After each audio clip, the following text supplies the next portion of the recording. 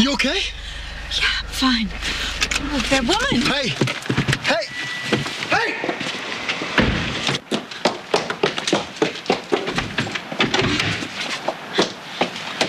Hey, hey, hey, hey, you don't have to be afraid, okay? I, I just want to make sure that you're not hurt. Are, are you okay? Oh, my God. Oh.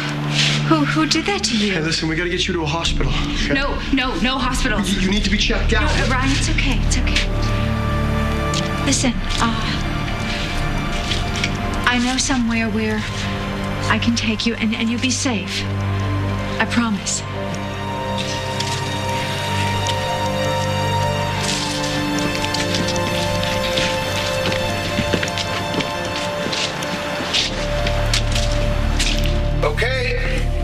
Crisis averted. Found the binky. I swear those things emit some kind of sleeping medication or muscle relaxant. Krystal? Krystal?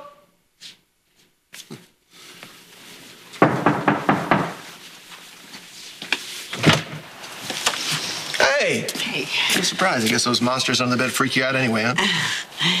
No, it was um I was missing my friend.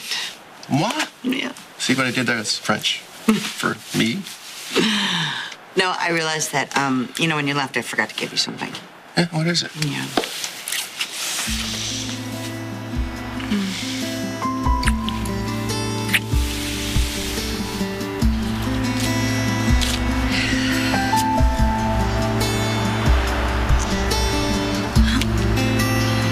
Here goes nothing.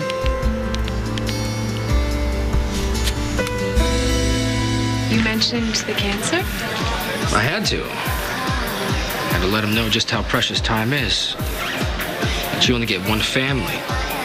And Annie, that psycho, is killing ours. So what happened? Well, I gave him a choice and I walked away. You gave him an ultimatum. He can either have me and his grandson, or he can have his new wife. There's no room for both. Is uh, Annie still awake? Fell asleep about an hour ago, but you're welcome to go in. Oh, no, no, that's all right. She needs a rest.